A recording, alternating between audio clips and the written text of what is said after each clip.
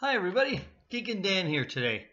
Again with you on a Wednesday and the weather outside. The last time we spoke, it was snowing. Right now, it, uh, the sun's out. It's uh, getting quite a bit uh, warmer. Uh, the trees are all full of leaves. Carol and I wait for uh, uh, all the trees to get green and whatnot. It makes us quite happy. And usually in early June, they're pretty well done, and we're getting close to that. Today I'm going to talk to you about something very, very, very simple. I, I hope anyway. I'm going to show you something here. I'm going to show you this little wire, this little tiny little wire. It's almost not there wire. And there's little tiny wires inside. There's a whole bunch of them right inside there. This little wire helps me communicate to you.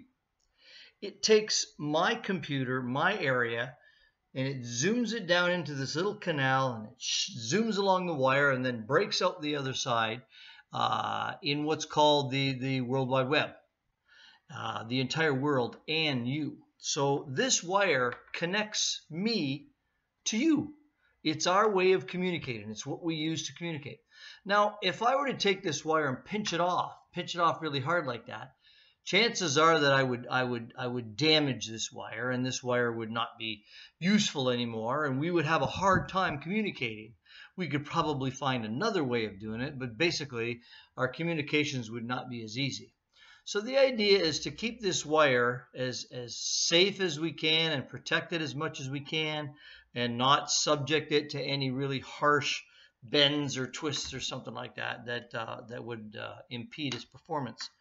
Now, you say, what am I talking about a wire for? Well, this wire, this communication between you and me, uh, is similar to the communication that we can have with God. Uh, our our communication that we have with God, our from our hearts and our souls, we communicate with with Jesus, and the way we do it is not by a wire like this particularly, but we do it with prayer. We do it with uh, our kindness. We do it with our hearts.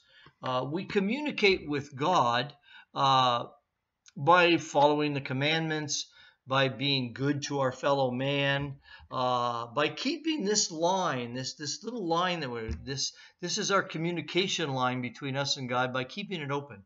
Uh, and if we were to pinch that communication line uh, between us and God off, it would be difficult to communicate with Him.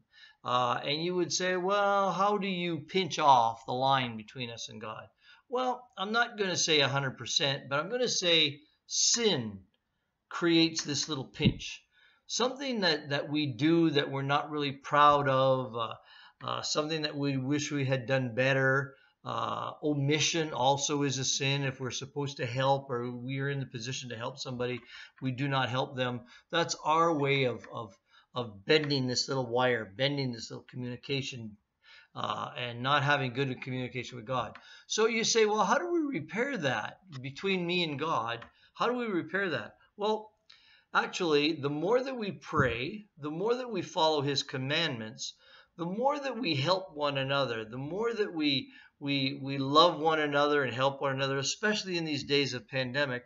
Uh, I know you are all just as tired of this pandemic as I am, have to stay in the house. You can't go here. You can't see your relatives or your friends, your favorite restaurants. Uh, little projects around the house. I'm going crazy here. There's so many things that I can be doing. Uh, but I just got to stay home because of the pandemic and whatnot. And I have to cross our fingers. Hopefully, the government is going to come up with a, a, different set of rules for us. Uh, but if not, we follow what there is. We have to follow the rules, just like when we talk to God and we talk to Jesus. Um, he set out the rules. Um, uh, Moses was the first uh, person to download something onto his, uh, his tablet. Uh, there's a little joke in there. Uh, but we have to keep the lines of communication open. We between us and God, the straighter that we have this, the less damage that we have this this wire in, the less less pinches that we have, the more praying to repair this communication that we have with God. That's what we have to learn how to do. Now, it's not hard. Uh, it might not be. Uh, it might not be uh, as easy to start praying, but like I had said once before, um, even just walking around when you're when you're at the house doing your chores or you're walking outside, um, you find yourself talking to yourself, and and and even if you say thank God, when you see a pretty flower or a child or something like that, you say thank God, or nobody got hurt in that accident. That's thank God. That's you communicating directly with God. That's you improving this line that we have, this little wire that we use.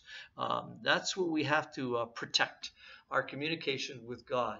So um, until we talk again, until we meet again, uh, I wish you all the best. Carol and I pray for you, and we hear about some of the situations that some of you are in, and and, and we talk at dinner, and we pray for you, and, and we understand sometimes that uh, things happen that you have no control over. Uh, but you must keep the lines of communication open with God, with Jesus. You have to keep keep your wire keep it keep it straight and narrow and no kinks in it no no bends got to keep it keep it straight so the lines of communication can, can continue to go through. So until I see you again in a couple of weeks, or I possibly at mass, hopefully we don't know what's happening with the with the government. we just have to sit and wait. Uh, God bless each and every one of you, and we love you. Thank you.